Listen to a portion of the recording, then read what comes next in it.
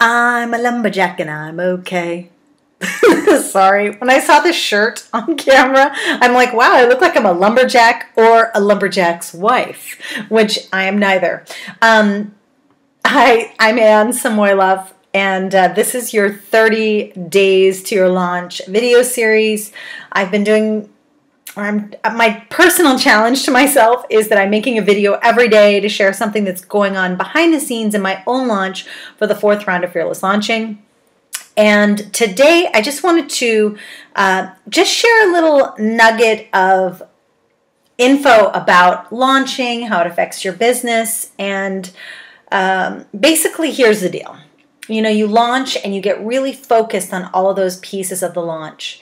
And what can what it can feel like is that your business actually becomes the launch, which isn't actually the right way to go about it because you still kind of just have to pay the bills of the business. You still have to keep things going. That means blog posts, newsletters, you know, your regular communication. Or else down the line, things are going to kind of go off kilter and people are going to wonder, you know, you want to you want to stay consistent in those regular activities you know, especially the external ones that people see, but not just those, but the behind the scenes stuff. So even if let's say you want to do a project and you want to uh, you know, I don't know, like one thing we're doing in the Fearless Launching alum group is we're going to start featuring a new person every few weeks. And that just means putting uh, a pinned post of um, a pinned post up basically that that features that person, what they do, because we've just got so many experts in there,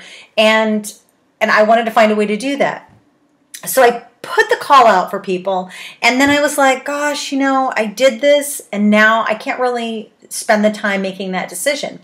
But that's not really fair to those people that you put that out to. So um, we are going to make that decision, and it is going to start during the launch because that is one of those things that you know those people my my concern and my devotion or whatever isn't just to the people that I'm like, ah, come in, come in, to the people I don't know yet. I have to honor and love and protect and cherish all those people that have already walked through the door and are kind of hanging out behind me and just, you know, already already part of my world in a in a bigger way. So that's just one example. But other things might include, you know, you wanting to start a, a you know, a blog series on some topic unrelated to your launch, you can still get that going, get that moving. So you can't let your content slide, you can't let your relationship with your customer slide, and you certainly can't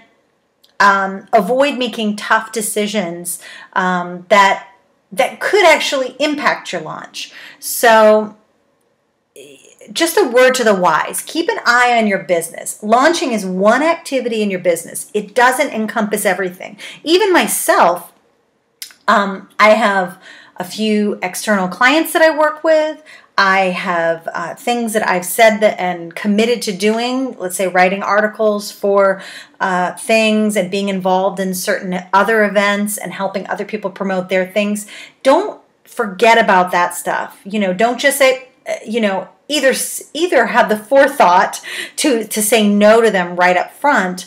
Um, way before the launch happens, or just do it. You know, keep your commitments, to all of those people across the board and to and in doing so to your business.